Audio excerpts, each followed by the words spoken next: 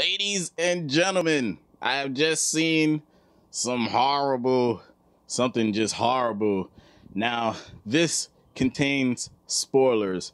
So if you don't want to know anything about Batman v Superman or possibly the solo um, movie of just Batman by himself, uh, you probably don't want to watch this. But anyways, I seen this photo and it's a graveyard and oh my goodness, Alan Wayne is dead, who was like the great great grandfather of Batman, Bruce Wayne. Uh, and then there was like another photo of uh, Dick Grayson's grave.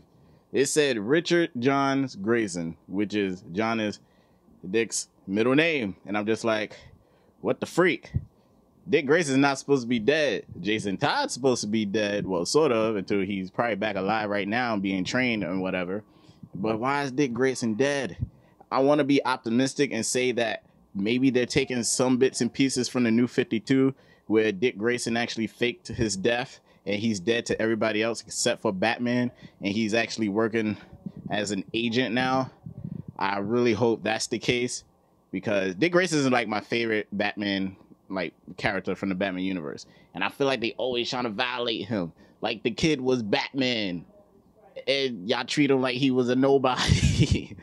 Like, man, I know Jason Todd is cool. Don't get me wrong, but I just prefer Dick Grayson. He's the first Robin. He didn't die. He didn't get beat up by the Joker. But man, this this this this photo just hurt me because I'm like, oh, I hope he's not dead. I just hope he's not dead. But leave a comment below, like and subscribe. Let me know what you guys think. Do you believe maybe my optimistic story about him? Maybe he's not really dead. He's just an agent or he's hiding out. Oh my goodness, I hope that's the case, but I don't know. Hopefully they develop more into this story or just let us know a little bit of backstory about what what the freak is going on. But till next time, guys, this is Chris McCall from Geekphilia. Later days.